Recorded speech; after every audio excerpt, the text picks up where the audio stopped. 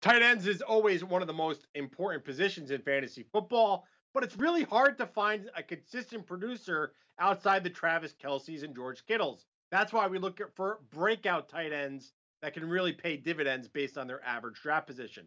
Is Chris Herndon one of those breakout players for 2020? Here for that is SI fantasy analyst Michael Fabiano and the editor of Jets Country, Kristian Dyer. Kristian, I'll go to you first. Last year, Herndon, he only played in one game. He only had one catch. What are you expecting to see out of the Jets tight end in 2020? I, I, don't think it's far fetched to think that Chris Herndon can probably return to his production from his rookie year, where he had over uh, 500 receiving yards. This is an offense that likes to utilize the tight end. It's an offense that made Ryan Griffin, uh, who's a bit of a cast off from the Houston Texans, turn him into a good, solid, respectable, uh, in particular, red zone threat. So at the end of the day, Chris Herndon is someone who is healthy now, can bounce back.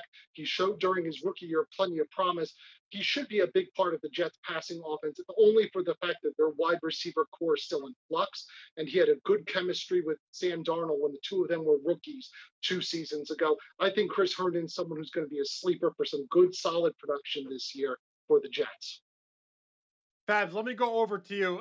I said in the beginning, if you, if you don't get a Kelce, a Kittle, Mark Andrews, how are you approaching the tight end position for your fantasy drafts? Are you focusing on a guy like Herndon, maybe in the double digit rounds?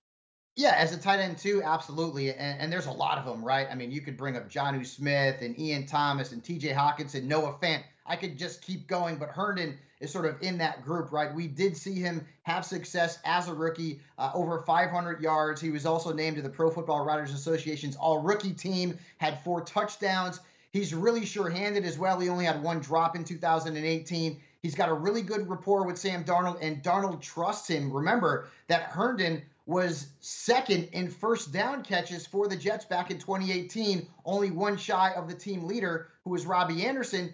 And Darnold likes to use the tight ends. You know, we heard about Ryan Griffin last year. He was fantasy relevant.